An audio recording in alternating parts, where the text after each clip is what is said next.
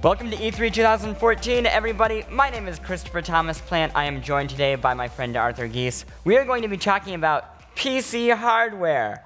And Don't I bet, go. Don't stop. stay, because we actually have people who know what they're talking about. From Alienware, we have Frank Azor, the general manager, and we have Mark Diana, who is in business development. They're going to tell us about new hardware. They are going to enlighten me into what RAM actually does. They're going to show me where I plug the thing in so it turns on. It's going to be a hell of a show.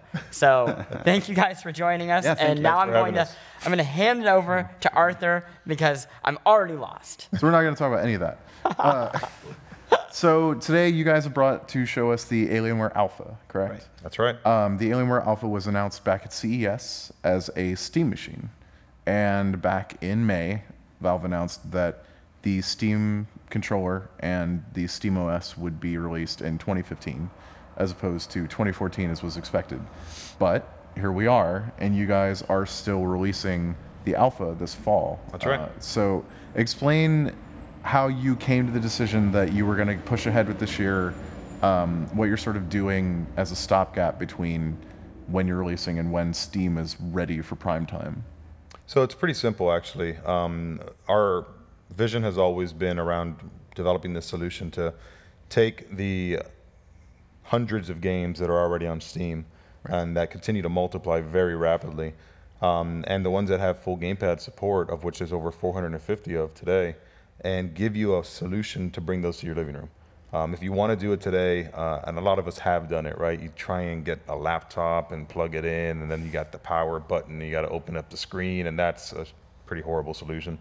Um, or you put some desktop that you were able to kind of DIY yourself or something, and it's probably large, it's probably loud, it uh, probably puts out a ton of heat. It's got a hard drive light flashing in your face every time you load something. It's kind of annoying um, there hasn't really been a purpose-built device sure. to go deliver that content to your television set. And why do you want that content delivered to your television? Because there's a, just a ton of games that are a lot of fun, especially with the gamepad, especially with two, three, or four guys playing um, in front of the screen. And uh, uh, the ton of indie games, especially, that are just an absolute blast. And we see, I mean, you look at how many games Valve has launched just this year, or Steam has launched just this year alone, right? It's more than uh, they launched the entire year last year. So that's going to continue to occur. Um, Steam OS is still the ideal solution for us. Steam Gamepad is really cool. It's going to help us bring some new genres over to the platform as well. Um, but when those platforms were, or when those two uh, items were delayed, um, the desire and the content um, is still there, and there's still a desire to bring those games to the living room. Our box is ready to go. So um, our solution is we're going to build you something, or we are building you something that um, will bring those games to you. It'll bring them to you in a gamepad interface, so you won't have to use a keyboard and mouse. We'll leverage Steam Big Picture Mode, which has been on the market for over a year. Works great. It's very mature. It's very reliable, and uh, we're doing things and uh, software-wise to the operating system, and we're doing our own uh, UI as well to make it an experience that's fully navigable with the gamepad. Yeah. Uh, you know. Our, our, our goal when, when we created this product, and certainly with the changes that has happened, is that a user should take this out of your box. So Chris, you, you mentioned, you know, PC gaming. It's a bit intimidating, uh, uh, but there's a lot of titles that are super fun, like Frank said, on Steam. So our idea was, how can we make this a console? How can, what is the, what is the one factor that would make this box a console? And really that's being able to navigate everything that you need to get into with just the controller. And as you can see, I mean, we're shipping with an Xbox 360 wireless control. It's a controller that people out there really, you know, have been using for a while. Uh, games are already programmed to that controller. So once you fire up your Alpha console, basically everything that you need to get into is done all through a custom UI that's exclusive to us. So um, we're basically using that to point to things like, you know, pair with my wireless network, um, access different components of, of the system or, and tune different settings. Um, but primarily, we see it as a launchpad to get you into Steam Big Picture. Um, and we think that that's really where the majority of users are going to do most of their gaming anyways. So The other thing that's really neat about what we can do is we're actually combining the PC-centric keyboard and mouse world with the gamepad-centric console world. So at our booth uh, this week, we're actually showing um, Gauntlet, really cool, highly anticipated game where three people are playing with the gamepad and one person's playing with a keyboard and mouse. So you can finally you have a box that you can kind of uh, consolidate those two worlds, share the same screen, share the same box, share the same game, but you can use whatever control interface you prefer to use. And you see, we're bundling the Xbox 360 gamepad. You can pretty much use, for the most part, any gamepad you want to use with our box. You can use any keyboard and mouse you want to use, any headset you want to use. It's very flexible. It's very open. We're not confining you to any licensed hardware or any particular um, uh, content or hardware or anything really. I mean, it's kind of like the most flexible console ever made. Sure. Um, it is powered by Windows for now because SteamOS isn't ready yet. But uh, you won't see Windows if you don't want to see it. You'll just see a full console experience. Windows just allows us to bring you the entire library of DirectX games on this box.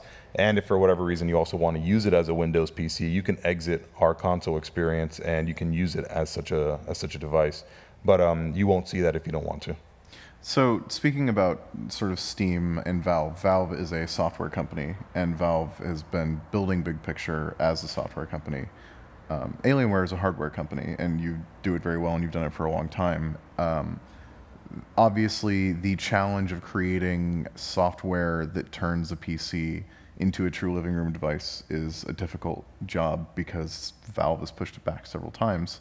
So, uh, how are you, as a hardware company, entering this space to try to make it to market this fall with something that bridges that gap in a way that is accessible for people who aren't the PC gamer, which I assume is like the market that you're really aiming Yeah. for? Well, not exactly. I mean, again, our primary goal here is take the amazing content that's already on Steam that is best suited for keyboard, or sorry, best suited for gamepad, and best suited in the living room, and bringing that to your to your living room. Right. Building you a box to do that. There's pretty big differences to answer your question around what Valve's trying to do and what we're going to be delivering this year. Valve's trying to build an operating system from A to Z centered around the console experience, and they're trying to build a gamepad to interact with that uh, operating system. Um, and it's really they're starting from a blank sheet of paper to do that. Now they're not there anymore, but when they originally started, that's what they were starting at. Sure, they had Linux and everything that give them a foundation, but it's an incredible amount of work that they have to go off and do. We are not um, starting from a blank sheet of paper. We have a operating system that is well established and well defined, and it's very it works very well. We have gamepads that have shipped in the tens, if not hundreds, of millions out there. So those are two kind of um, new items or risk factors, if you will, that we're not dealing with. The only risk factor we're dealing with, or the only uh, development that we have to do aside from the hardware itself, but from a software perspective, is getting Windows to operate in a console type of an experience. Sure. Valve's even give, delivered us Steam Big Picture mode. So we don't even have to develop the Steam store for the console experience. That's already done for us. It's just taking Windows and um, purposely modifying it for the environment that it's going to be in. And it's not to say that that's going to be easy. It's not easy. We, we, we know exactly what's involved in doing it, but it's a, it's a much simpler scope of work than trying to build everything from the ground up. Yeah, and I think the the the task at hand and, and, and in the end user is a user who doesn't want their Steam experience to end just because they've gotten up where their their desktop or their notebook is, and just because they've moved into another room, it shouldn't end. Um, so all your friends, all your titles, all that stuff inherently work natively on this box now uh, because it is DirectX based. Now, I, I moved my massive gross machine like right next to my television because I was Yeah. like, I'm going to play games on TV. I'm not playing them because they're sitting upstairs in a monitor and that's where I work and I don't want to be there all day. But what I ended up finding out was it was better than any other console I've had at doing the media thing that every console has tried to do. My my wife doesn't know how to get around the Xbox menu. As simple as that sounds. Yeah. It's just it's foreign to her. Yeah. But she uses a computer all day. So she knows how to find Amazon.com or go to Netflix or YouTube and watch things on her TV. Is this a system that is focused on games or are there outlets towards media or is that something you think about? Is it important just to have a singular focus? I'll, I'll take this. So, so at Comic Con this year, so we're going to be there. We're going to be showing users our, our full end experience. I promise you, it's it's very easy to navigate. So uh, again, the the UI was purpose built around the control. So it's um, we're showing it off today uh, behind closed doors just to show people like, hey, we are not, you know, joking when we say we can do all these features with a controller. And in fact, here it is. Um, but we're going to peel back the, the curtain on that uh, for Comic Con, so users will be able to come up, see the UI for themselves. It's going to be very easy to point to all kinds of things like that. But you know, one of the pillars of this uh, of this program and of, of this alpha experience for us is is being open, right? So we're, we're talking about hey, having users uh, have the ability to customize that skin uh, and customize that experience of the alpha UI. So all those features are going to be features that we're going to constantly work to improve and update. And I think that what you're going to find is it's it's going to be an experience that it's again 100% turnkey out of the box that lets you get around everything you need to with just a controller. Let me uh, uh, build a little bit on what Mark said, and um, maybe to answer your, your, question a little bit more specifically. Initially, when we launch Alpha, it'll be most, it'll be almost exclusively focused on gaming and game content um, and Steam Big Picture.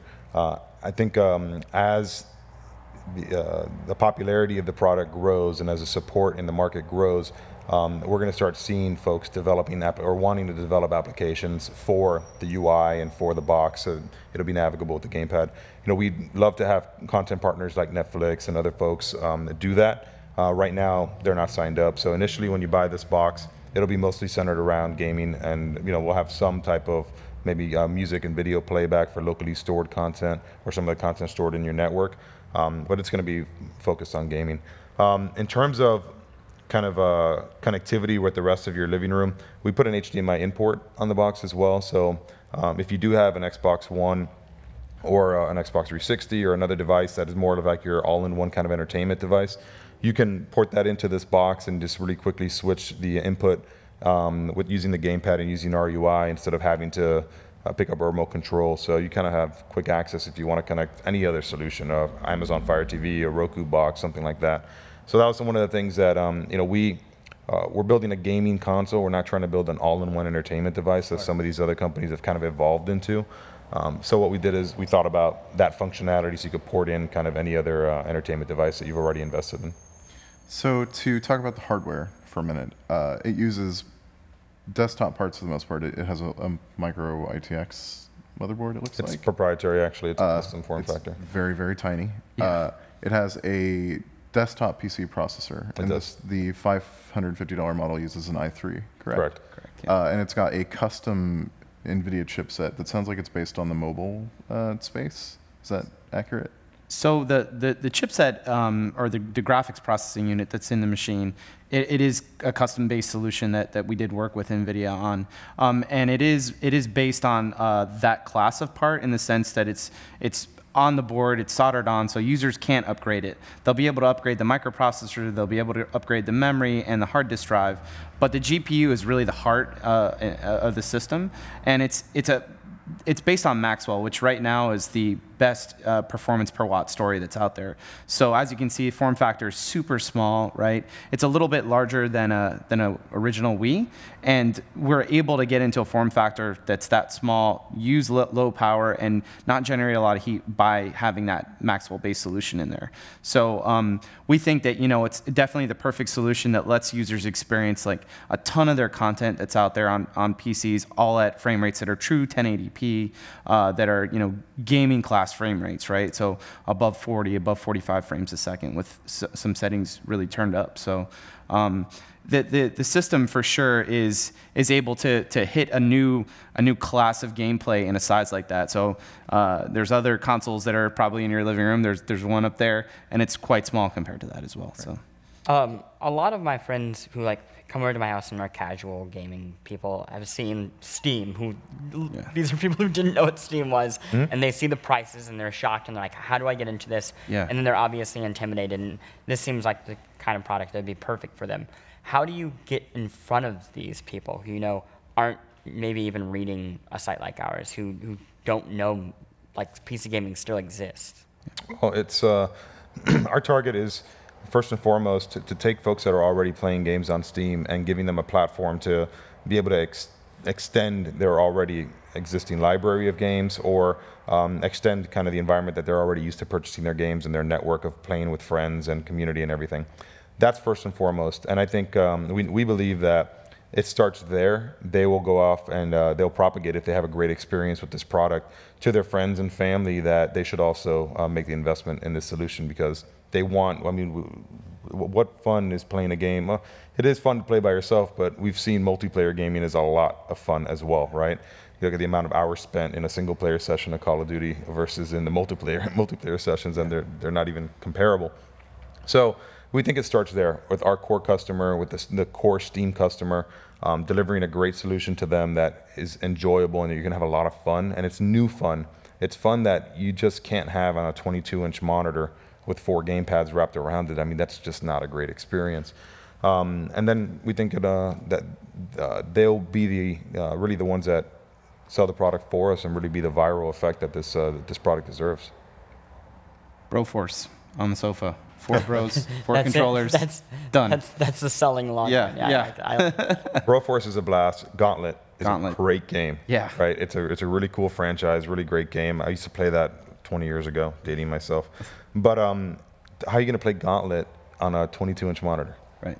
you know, with four with four friends. It's not a great experience. So that look at a game like that, Broforce, Night Squad.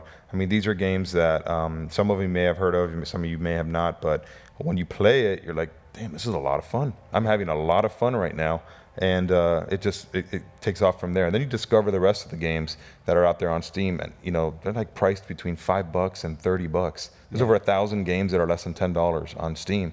So you can have an absolute blast for a fraction of the cost as uh, what you may be paying for today on, a, on another console. You don't have to have any subscription costs, right? You're not paying for a, you're not paying for a, um, a PSN or an Xbox Live connection with um, with Steam, so that's pretty cool as well. And then you've got your entire back catalog of games. So if you do want to break out a keyboard and mouse to play something um, that you may have invested in 10 years ago on Steam, you've got the option to do that now. Yeah. That's great. Um, I want to talk about the actual look of the console too, because uh, again, my, my monstrosity that rests along things, and people are like, well, "Why did you put a monolith next to your TV? What sort of religion do you obey?" uh, it- compared to uh, our boss, Chris Grant, who takes pride in the economy of the devices in his house, and I think found something that is maybe the size of a small rock Yeah. uh, that he's wedged a computer into. Yeah. Uh, how, how much thought goes into this design and making it look like something that is going to sit next to your television? Oh man, a, a, a lot. Uh, it takes it takes a long time to build a product like this, and that's again that's one of the advantages that we're able to provide to our to our customers. Is there's a lot of R and D. There's a lot of time. Actually, we spend a lot of time talking with Valve um, about. Hey, what size should it be? What, what sort of performance levels uh, sh- should we be looking at? Uh, what kind of power draw? What kind of input? Um, so uh, that's one of the benefits of, of having the relationship with Valve. But this box uh, probably takes uh, takes quite some time. Like what? Oh, well over a year. took uh, took two years Yeah. to get to this point. So there's a lot of work, a lot of effort. I mean, we are we, we, we didn't just go off and get off the shelf components, obviously, right? So it's a collaboration with Intel, collaboration with NVIDIA, making the right decision as to which technology partner we're going to be collaborating with and which architecture to go with. How do you pick the right configurations? Like, how did we know the Core i3 Haswell that we're using is going to be fast enough for games? doing all the benchmarking you need to do, looking at all the different uh, NVIDIA pieces of silicon that are out there, finding the right one, discovering that there isn't necessarily the right one. You kind of kind of have to do some unique work in order to find the right solution. Um, and to Mark's point around form factor, how how do we deliver a form factor that's amazing? How does this box perform as well, if not better, than the current consoles, but it's a fraction of the size? And how do you deliver on that? I mean, there's, a lot of questions, a lot of work, a lot of challenges. Um, and uh, think about everything from industrial design. How does it, how do you want the box to look? How do we make it look so that it's obviously an Alienware product when you see it, um, but at the same time, it's, gotta not something that's gonna shock people in the living room, and that your wife or your girlfriend's not gonna let you put it under the TV because it flashes crazy lights like some of our other products do. A lot of consideration. I mean, there's just so much work and so much uh, effort that goes into it. But the end result is this amazing product over here. I, I mean, look at the size. It's just amazing. It looks like um, it's not a huge, it's not an amazing performer, but it actually is. When people see the games like Dying Light and Evolve running on this, they just can't believe the graphics horsepower that this thing is uh, is delivering. Yeah. Um, and you get a box that's really quiet. Uh, you can you will barely be able to hear this thing even when it's under full load. Uh, it's extremely thermally efficient, and that's a thanks a lot to the, uh, the silicon architecture that we chose here between Intel and, and NVIDIA. Um, and like, it's upgradable for the most part as well. That's really ama- amazing. You can't really do that. I mean, so there's like so many different decisions, so much work that goes into it. You say two years, that seems like a really long time, but you know, the, the end result of that time is what we're delivering. It's a really high quality, really amazing product. We also have a great relationship with um, a lot of game developers out there. So what we do is we'll seed them these units, we'll, we'll give them our spec, and we'll be like, hey, throw everything you got at this thing. Tell us like what we need to adjust, and we take that feedback super seriously. So um, when we get it, we we go off and we make the changes that we need to make to ensure that hey, when when it finally gets into our customers' hands and when it gets into their living room, that it's going to run the games that they want to play at you know very impressive frame rates. Fantastic. Oh, so to wrap up, uh, when can people expect to see this, and about how much is it going to cost them? So $549 will um, be the entry configuration. It will come bundled with a gamepad. Um, if you want to get a richer config because you want either a quad-core processor or you want more of a hard drive capacity, um, we will have other configurations available as well. So you'll be able to get up to a Core i7 quad-core, up to two terabytes of hard drive space, up to eight gigs of memory. All of the units will come with 802.11 AC Wi-Fi built in, um, and they'll be we'll begin delivering before the end of the year. Yep. Fantastic. Well, thanks for joining us. Yeah, thanks a thank lot for you, having guys. us. Great talking. I understood about half the things you said, especially the things about the memory. Um, and thank you for joining us. We are here all week. Uh, you can find more of our stuff on polygon.com or more of our videos on youtube.com forward slash polygon. But don't go there. Go to polygon.com because it rules. Bye.